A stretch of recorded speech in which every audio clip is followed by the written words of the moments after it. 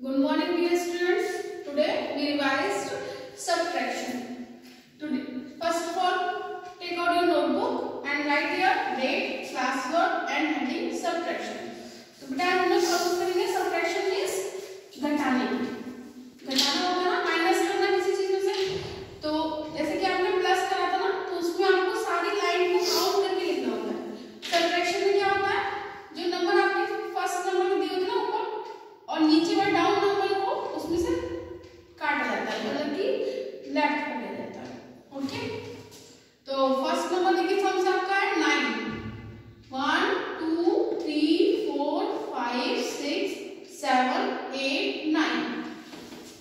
अब नीचे नंबर आपका दिया हुआ है फाइव तो हमें इसमें से नाइन में से फाइव को कट करना है तो फाइव लाइन हम लोग काउंट करके कट करेंगे one two three four five cut left आपकी कितनी बची है कितनी बची है one two three four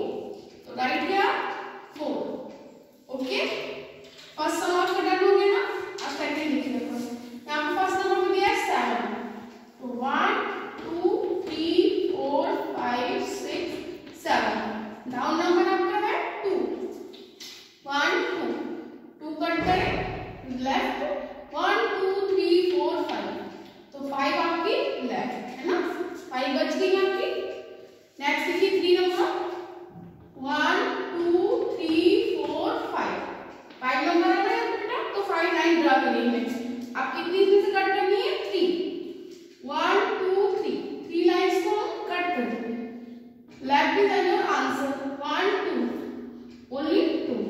okay तो मैम ने थ्री सम्स आपके लिए सम